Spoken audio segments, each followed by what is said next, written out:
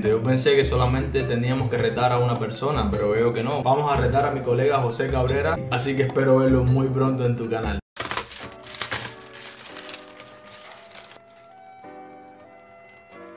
Como ya habéis visto, Studio Taller me retó al Neon Art Challenge, el reto de dibujar simulando el neón en tradicional, importante.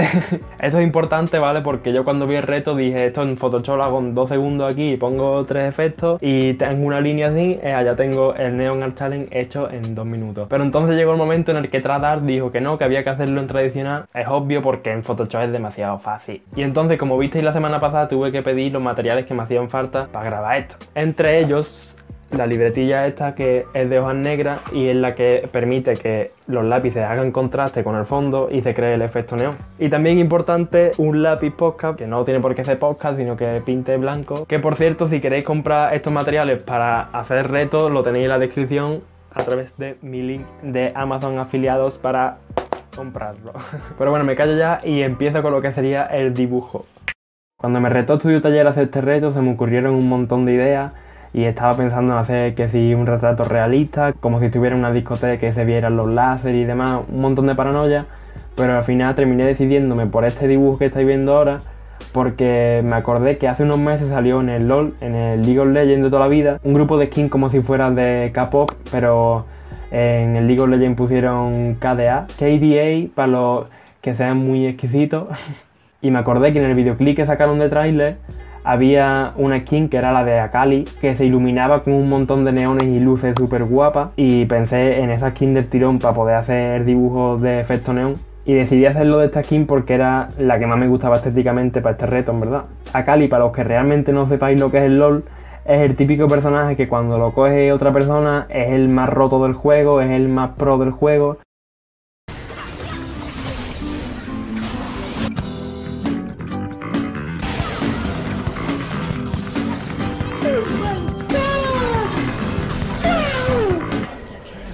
pero después lo utilizas tú y eh, no sirve para nada. Eres un manco, como lo soy yo, por ejemplo, con este personaje, porque mm, nunca se me ha dado bien. pero realmente es de los que más me gusta estéticamente y por eso lo elegí para este vídeo.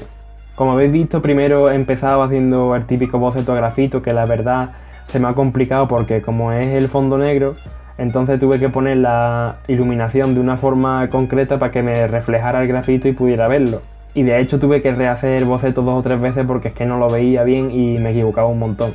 Luego la clave de este reto es que hay que utilizar lápices de colores y de estos lápices de colores hay que utilizar uno de una gama clara y otro de la misma gama de color pero de la gama oscura. Y yo por ejemplo decidí utilizar algunos rosas, algunos celestes, unos tonos amarillos para los ojos, también algunos violetas o así y bueno, me puse a hacerlo tal cual Trada lo enseñó en su vídeo, y que consiste en primero repasar la línea del boceto con el lápiz claro, y una vez haces esto, con el color oscuro de esa misma gama, haces un degradado desde el tono más claro hasta el negro puro del fondo, para que se note muchísimo más ese efecto neón en el que se basa el reto. Realmente creo que es una técnica bastante difícil porque es una técnica a la que no estamos acostumbrados. Yo normalmente no estoy acostumbrado a dibujar sobre negro y la verdad que mientras le pillas el tranquillo no es bastante difícil. Pero realmente no descarto ponerme a hacer más dibujos como esto porque al final el resultado me moló bastante y creo que merece la pena explotar mucho más este estilo. Y aquí es cuando entra en acción el lápiz blanco, el rotulador blanco, que en este caso estoy utilizando un Posca. Y en este momento diréis, José Ángel, José Cabrera Art, eh, ¿para qué haces la línea igual de gorda que la punta del rotulador y así la tapa. Pues mm, me pregunté lo mismo cuando empecé a hacer esta línea blanca, la verdad. así que después de repasar todo el dibujo con la línea blanca, ya después fuera de cámara, me puse a ampliar la línea clara de los colores principales para que se viera bien el efecto neón, ya que cometí un fallo importante de hacer la línea demasiado fina. Y bueno, tras muchas horas de trabajo y después de algunos retoques fuera de cámara, este es el resultado final. La verdad que creo que ha quedado bastante bien para lo que yo esperaba y la verdad que me he quedado sorprendido con el resultado porque se ve bastante chulo.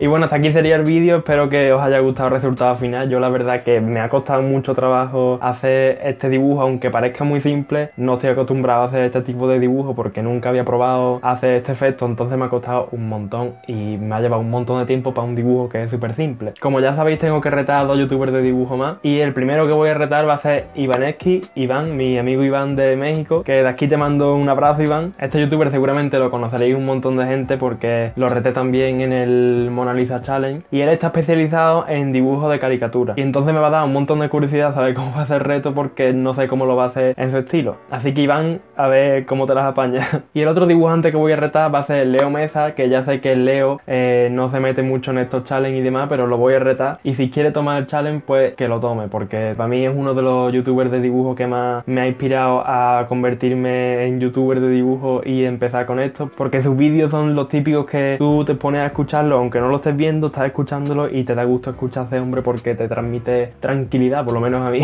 y como sé que nunca se mete en estos retos, pues lo voy a retar a ver si le da por meterse y lo vemos utilizando algo distinto. Así que desde aquí os digo que podéis ir a sus canales que lo voy a dejar aquí abajo y decirle que los he retado por si se quieren unir al reto y a ver qué os dicen. También os dejo en la descripción el vídeo de Estudio Taller donde me retó y el vídeo de Trada, el que empezó el reto. Y recuerda que si te ha gustado el vídeo te puedes suscribir, le puedes dar un like, le puedes comentar, lo puedes compartir con tu prima, la del pueblo que no ves hace tres años, pues se lo comparte le dices, mira prima, el dibujo que ha hecho este hombre, que es guay, mm, suscríbete. Muchas gracias por aguantarme otra semana más y nos vemos en el próximo.